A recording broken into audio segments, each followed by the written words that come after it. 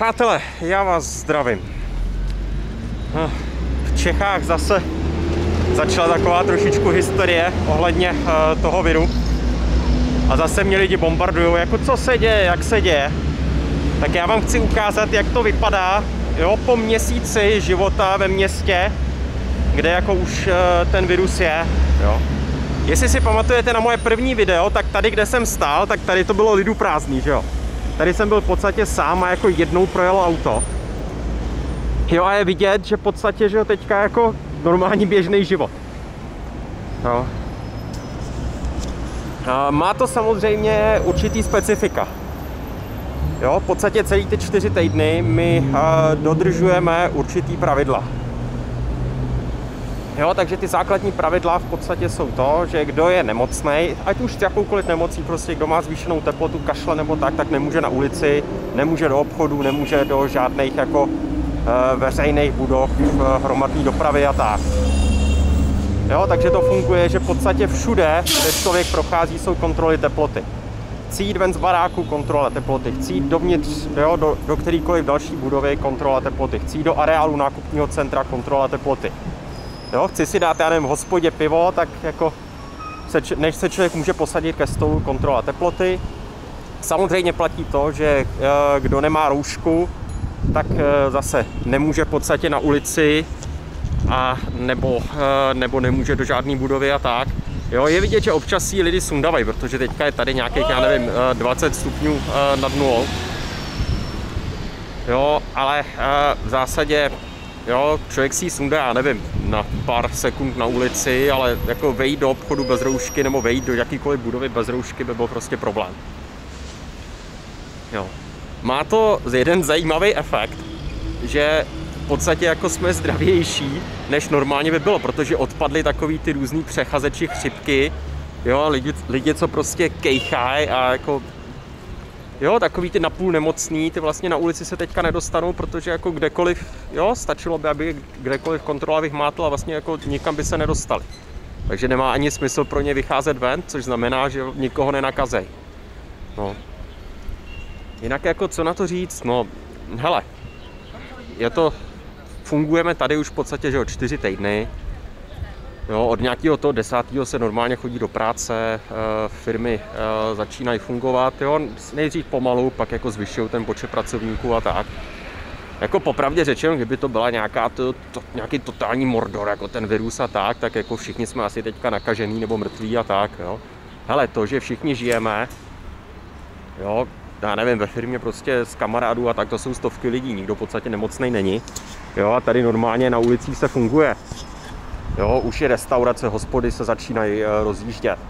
Jo, tak to značí, že když se dodržují nějaký základní bezpečnostní pravidla, tak jako se dá normálně fungovat. Jo. Takže jo, nějaký takový ty katastrofický představy o tom, že v podstatě jako lehne celá Čína, zatím se to nepotvrdilo. Jo. Nevím, co bude dál, já samozřejmě nejsem epidemiolog, virolog, abych říkal jako a teď se stane tohle, tohle, ale jenom v podstatě popisuju aktuální situaci. No a aktuální situace je, že jako v podstatě normálně fungujeme, akorát všichni nosí roušky. No. No, tamhle je krásně vidět fronta na te- kontrolu teploty. Koho zkontrolujou, tak ten dostane nálepku a může se vlastně pohybovat tady v areálu nákupního centra. No, mě už taky zkontrolovali, takže tady mám taky nálepku. Jinak teďka v Čechách já jsem zaslech, že je populární téma takový to vykupování obchodů a křečkování rejže a těstovin. E, tady jsme to měli v omezený míře taky před, já nevím, těma čtyřma týdnama. Jo. E, ve finále to dopadlo tak, že jako lidi si udělali nějaký zásoby, protože čekali, že v podstatě jako obchody budou vykoupený. No. První týden jako obchody furt měli věci, druhý týden obchody furt měli věci a třetí týden pomalu začaly ty zásoby ujídat. Jo, protože si říkali, OK, tak jako asi se zásobováním problém nebude, no a co jako budeme s tím vším dělat, měli bychom to sníst. Takže moje doporučení by bylo, hele, jestli si chcete zásoby udělat pro dobrý pocit, všechno klidně, doporučoval bych ale udělat zásoby z nějakého jako dobrýho jídla, jo, abyste pak jako nemuseli to žvejkat suchary, eh, aby se neskazily a tak. Jo. Samozřejmě nemůžu, jo, nevím, nejsem expert, nemůžu předjímat, jak to bude prostě v Čechách, v Evropě, ale znova říkám prostě, tady to bylo ty čtyři týdny takhle. Jo. A zase jako, hele, můžete vidět prostě normálně, jako tady se žije. Jo. Není to tak, že by tady byly lidu prázdné ulice, nic.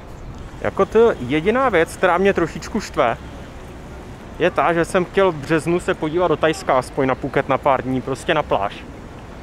Jo, a teďka to můžu prostě se na to vykašlat, protože jo, jak se to rozjelo v Evropě, tak je dost možný, že e, zatím to ještě se nezavedlo plošně, ale je dost možný, že Čína zavede nějaký e, požadavky, já nevím, karantény nebo prostě omezení pro lidi, kteří přilítávají z ciziny. Jo, protože paradoxně jako nastane situace, kdy v cizině ta situace bude horší než v Číně. Samozřejmě v Číně jako, když říkám v Číně, tak tím myslím jako Čínu mimo Wuhan. Jo, takže jako z cestování nic nebude. Budu muset sedět jako doma na zadku, no. No čím bych to tak uzavřel, no? Hele, uh, chápu, že je teďka v Čechách spousta lidí nervózních, jo. Já se přiznám, taky jsme tady byli nervózní docela, jo. Jo, je normální začít prostě říkat, ty a co bude a co tohle, tohle, to je naprosto normální, jo. Já vám chci prostě jenom ukázat pohled, uh, jo, prostě od někud, kde už jsme si tím prošli a v podstatě jako žijeme v tom nějakou delší, nebo delší, no, prostě žijeme v tom už pár týdnů, no. Jo, že to není, není to zas, v podstatě, když se dodržují bezpečnostní pravidla, když lidi nedělají úplný kraviny, a když se dodržují prostě nějaký zásadní hygienické věci a tak, ale prostě neběhají kašlající lidi po ulicích a tohle, tak se to zvládnout dá. Jo.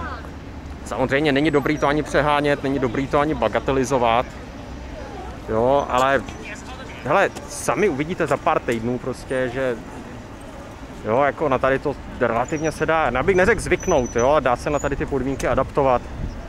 No a pak to vypadá víceméně nějak takhle, no. Hele, přátelé, já si myslím, že tohle je tak všechno. Já vám děkuji za pozornost. Měl bych jenom ještě jednu speciální prozbu, než zase jako nějaký to médium Jo, mě to video vykrade, vyžil bez něj screenshoty a udělá z toho článek, že já říkám něco, něco. Hele, nedělejte to, jo, já to nemám rád. Že jo, prostě, když něco chcete, slušně se zeptejte, jestli jako tohle, já vám většinou řeknu, že ne, protože já se nechci účastnit nějakých jako sáhodlouhých polemik a takovýchhle věcí. Jo, a když mě pak lidi posílají prostě, jo, ty si dal článek tamhle, tamhle, já říkám, nedal, já jsem nikomu nedal článek, jo, Sami víte, jak funguje tiskový zákon a tak, že a sami víte, že prostě dělat tady ty věci bez mého souhlasu není úplně košer. Jo, tak prosím to nedělejte. Díky a čau.